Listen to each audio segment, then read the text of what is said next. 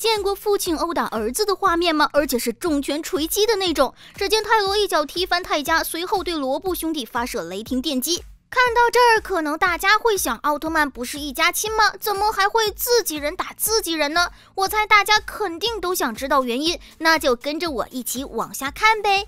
就在数小时前，托雷基亚召唤出怪兽格里姆德，城镇居民落荒而逃。优信和罗布兄弟变身奥特曼上前迎战，罗布兄弟打前阵，泰迦则在后面输出。就这样，泰迦使出黄金斯特利姆光线，奈何格里姆德全盘吸收，还来了个大反弹，泰迦一下被打回普通形态。咦，这画面和杰顿杀死初代有点像啊！不得不说，怪兽不愧是怪兽，连攻击方式都是一样一样的哦。紧接着，格里姆德以超高的速度将罗索布鲁泰迦打倒在地，随后对其一番践踏。眼看格里姆德就要终结泰迦时，突然闪出一道光线。没错，我们的老朋友泰罗登场了。和儿子唠嗑一会儿后，泰罗冲上去与格里姆德肉搏，奈何怪兽过于强大，泰罗被其层层压制。无奈之下，泰罗使出奥特炸弹，作为泰罗的必杀技。奥特炸弹有多厉害，想必大家早已耳闻目睹了吧？毕竟人家曾用其拯救了光之国呢。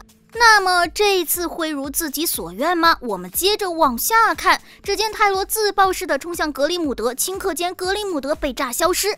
泰迦看着自己的父亲胜利了，兴冲冲的上去夸赞他，不料却被其一脚踹倒在地。还没等罗布兄弟反过神来，泰罗计时器就开始冒出黑暗的气息。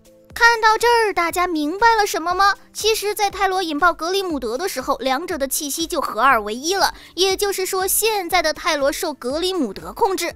只见他开始脚踩泰迦，罗布兄弟释放光线阻止，却被格里姆德发射的闪电打回人间体。紧接着，泰罗一把抓起泰迦，对其又是打又是踢。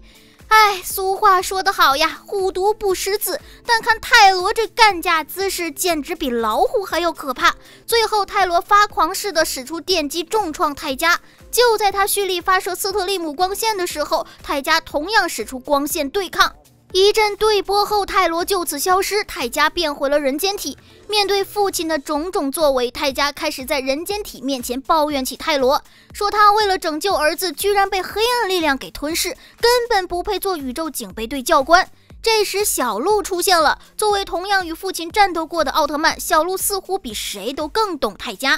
因此，他不断鼓励泰迦。就这样，泰迦重拾信心，准备救出父亲。这时，泰罗和托雷基亚出现在城市中央，新生代奥特曼人间体一一奔赴现场。在欧布等人进行讨债后，以银河为首的八位奥特曼闪亮登场。看这阵势，一场大战即将打响。其实怎么说呢？泰罗的初衷只是为了拯救儿子泰迦，他也没想到自己的自爆式战斗会让自己被黑暗给吞噬，从而变成杀人不眨眼的狂魔，可以说是爱子心切吧。那么大家猜猜泰迦能救回父亲吗？欢迎在下方留言互动，我们下期接着看，拜拜。